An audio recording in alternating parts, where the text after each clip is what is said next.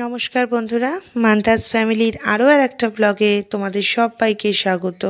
আসলে তোমরা আমার সাথে, আমার পরিবারের সাথে এমনভাবে জড়িয়ে গেছো যেন আমার পরিবারের ছোট্ট থেকে ছোট্ট ঘটনাও তোমাদের সাথে যদি শেয়ার না করি, একদমই ভালো লাগে না। তো ভিডিওটা দেখে বুঝতেই পারছ, আমরা কোথায় এসেছি, একদম ঠিক ধরতে পেরেছ। আমরা আজকে এসেছি আমাদের বাড়ির আরও আর একটা সদস্যকে নিয়ে যেতে। তো আজকে আমরা এসছি প্রভুকে আমাদের বাড়িতে নিয়ে যাব বলে। আর এইখানে এত ছোট্ট ছোট্ট গোপাল সোনা রয়েছে, তাদের দেখে তো মোটামুটি কনফিউশনে পড়ে গেছে। গোপুর দাদা, দিদি কোনটা ছেড়ে কোনটা নেবে? তো সেই ভিডিওটাই আজকে দেখাবো। সারাদিন গপুর সাথে ওরা কি কি করল। ছেলে মেয়েরা গপুর জন্য ভীষণ এক্সাইটেড হয়েছিল এবং কখন ওকে আনতে যাবে কবে ওকে আনতে যাবে এই ওদের চিন্তা ভাবনায় সারাক্ষণ না ওদের পড়াশুনো হচ্ছে না ওদের কাজকর্ম হচ্ছে। আমার ছেলের তো এখনও পর্যন্ত অ্যানুয়ালি শেষ হলো না কিন্তু চলে গেছে ভাইয়ের আনন্দে কি কি করবে কি কি করবে না। আর এখানেই দুটো সোনার মধ্যে ওরা কনফিউশনে পড়ে আছে কোনটাকে নেবে কোনটা নিবি সেটা তুই দেখ এটা না। ও বুঝতে পেরেছি। এখানে ঝুলিয়ে দিস। ঝুলে যাও ঠিক আছে?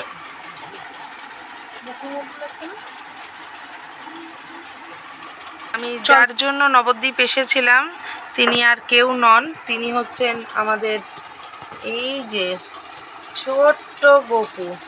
আর গপু এখন দাদার কোলে দোল খাচ্ছে।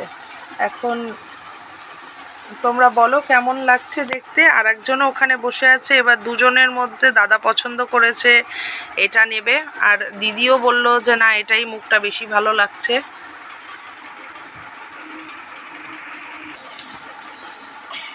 আর মানুষ তো দিদিই করবে, তাই দিদির কোলেই রয়েছে। আমার তো শুধু নেওয়া। ভাই বোনদের মানুষের দায়িত্ব দিদিরই থাকে। পছন্দ হয়েছে? দেখো তো।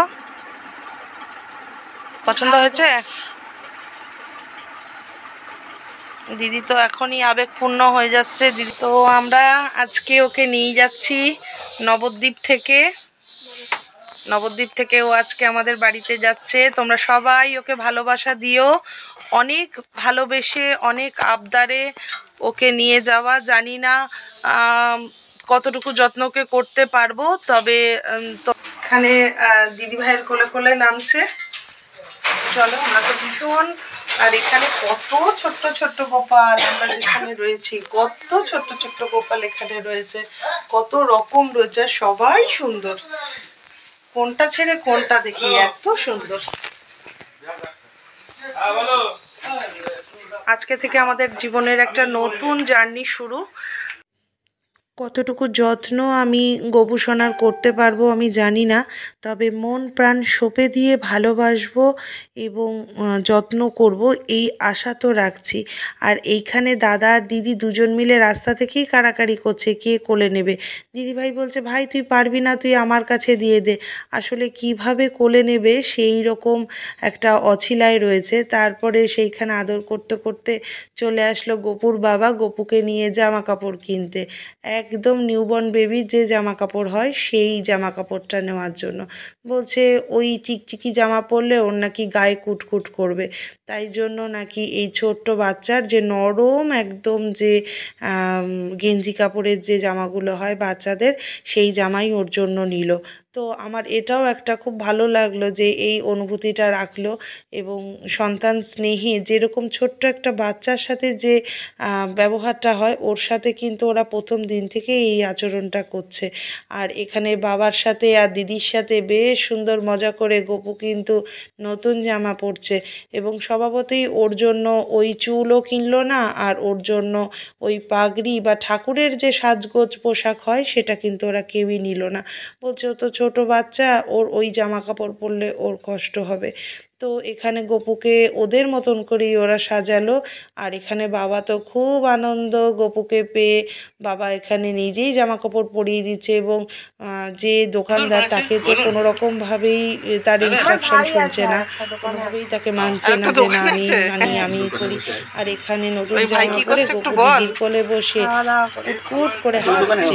আর তারপরে আমরা ওকে নিয়ে আবার রওনা দিলাম বাড়ির উদ্দেশ্যে যে এবার আমরা যাব বাড়িতে তা কিন্তু দিদিভাই বলছে এখন তো বাড়ি গেলে হবে না সদ্য গপু এসেছে। গপুর জন্য তো একটা কেক নিতেই হবে। তারপরে গপুকে নিয়েই চলে গেল সে মঞ্জিনিসে একটা কেক কিনবে বলে। তো ওখানে গিয়ে জানা গেল যে কেকের আউটলেটটা টোটালি ভেজি আছে। তার জন্য আবার গোপুর নাম করে সুন্দর করে একটা কেক পছন্দ করল এবং সুন্দরভাবে গোপুর ওখানে লিখলো ওয়েলকাম গোপু। আর এইখানে মেয়েটিও খুব যত্ন সহকারে আহ, লিখছিল তারপরে গোপুকেও বেশ আদর করল। আদর করার পরেই কিন্তু ও কেকটা লেখা শুরু করল। আমি কিন্তু সেটা আর ক্যাপচার করতে পারিনি। সবার ভালোবাসাটা কিন্তু একটা অনেকটা গুরুত্ব রাখে। অনেকটা আমার জীবনে তো প্রচুর এর মাহাত্ম্য যে কতটা মানুষ ভালোবাসে। আর গোপাল যখন আমার কাছে সন্তান রূপে আসছে, তাকে যদি সবাই ভালোবাসে, এর থেকে বড় তৃপ্তি আর কি হতে পারে? প্রচুর মানুষের ভালোবাসায় প্রচুর মানুষের আশীর্বাদে একটা সুন্দর জীবন পাওয়া যায়। আর সেই সুন্দর জীবনটা যদি ঈশ্বরকে সাথে নিয়ে আমরা পেতে চেষ্টা করি তাহলে তার চেয়ে আনন্দ আর কি হতে পারে? আর এই গোপুর কেকটাও তৈরি হয়ে গেছে। এবার এটা বাক্সবন্দি করার পালা। এবার আমরা কেকটা নিয়ে বাড়ির দিকে গুটি গুটি পায়ে এগোবো। এবার দিদিভাই কোলে নিয়ে উঠে গেল টোটোতে। বলল যে না আমার কোলেই থাকবে ছোট্ট গোপু সোনা বললাম, ঠিক আছে। এদিকে দাদা ভাই গোপুকে তো পাচ্ছে না, তারপরে কেকটাকেই নিজের কোলে বসিয়ে নিয়েছে। যদিও সেটা অত্যন্ত যত্ন সহকারেই ও রেখেছিল যাতে কোনোভাবেই একটু নষ্ট না হয় গোপুর আনন্দের কেক। তো গোপু আসছে বলে সেই কেকটা, সে কি আর যত্ন না করে পারে? তারপরে আমরা টোটো করেই কিন্তু বেরিয়েছিলাম যেখানটা যাব সেটা আমার অনেক দিনের ইচ্ছাই ছিল যে আমি গপুকে নিয়ে আগে যাব হচ্ছে নিমাইয়ের জন্মস্থান, যেখানে স্বয়ং সচিমাতা নিমাইকে কোলে নিয়ে বসে আছে। তো আমি গপুকে নিয়ে সেই স্থান দর্শন করে তারপরে এসেছিলাম কিন্তু বাড়িতে গপুকে নিয়ে। আর এই সেই নিম গাছতলা যেখানে স্বয়ং মহাপ্রভুর জন্ম হয়েছে। আর এই নিম গাছতলাতে মানসিক করেই না আমার বাবার জন্ম হয়েছিল। নবদ্বীপের সাথে আমাদের একটা বহু পুরনো যোগসূত্র। নবদ্বীপে আমার বাবার জন্ম, নবদ্বীপে আমার পিসিদের জন্ম তো সেইখান থেকেই কিন্তু আমি ঘুরিয়ে নিয়ে গেলাম গোপুকে। আসলে এটা আমার অনেক দিনকারই ইচ্ছা ছিল যে এখানে আসব।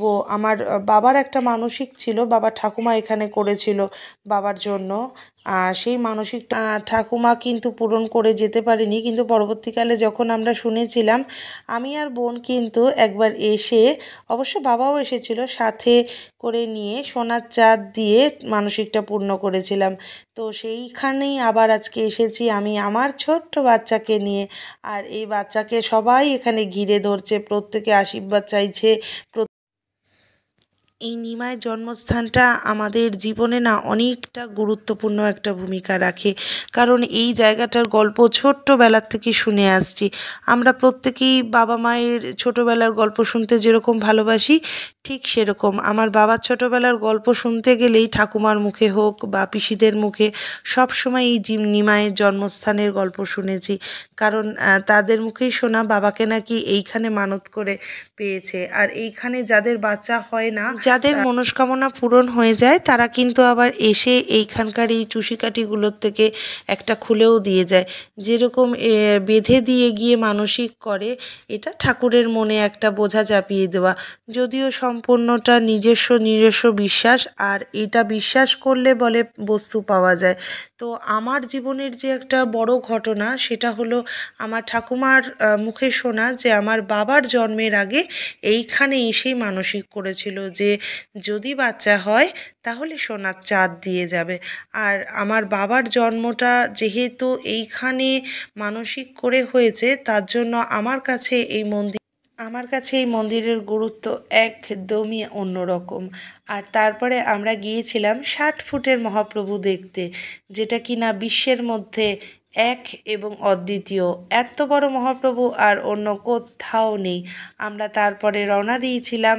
মহাপ্রভুটা দেখেই বাড়িতে যাব। অত বড় মহাপ্রভু তো একটু দেখার জন্য মনটা ছটফটি করছিল।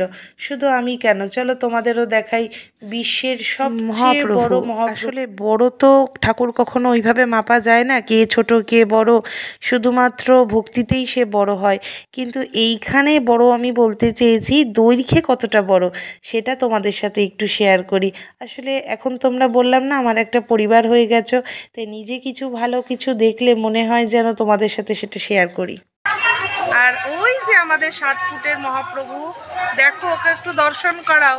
আর এত সুন্দর ঝর্ণা, এখানে দেখো সেও মাথার উপরে।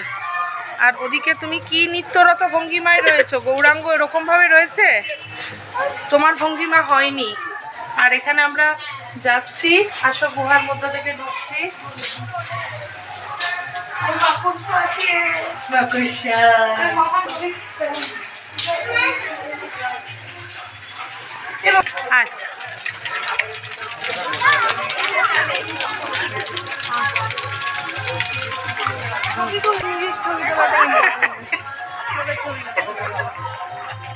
আর এই সেই ষাট ফুটের মহাপ্রভু, দেখতে বলো।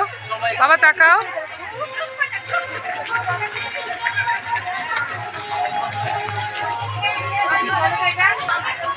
আর এখানে রোদ্দুর পড়ছে। দিবি আমার কোলে? ও, দিদিভাই এবার কোলেও দেবে না। এই যে সেই মহাপ্রভু, এটা দেখতেই আসা এত সুন্দর এই চারিপাশটা।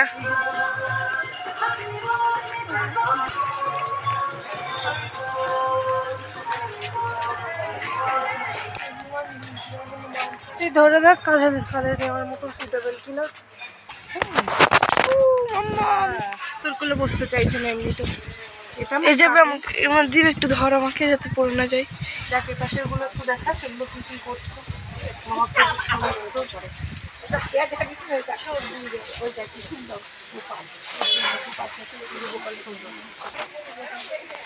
আরে তোকে আর বলেনি আমাকে বলেছে তুমি একটু নাও হ্যাঁ এখানে অনেক সুন্দর ফুল টুল রয়েছে।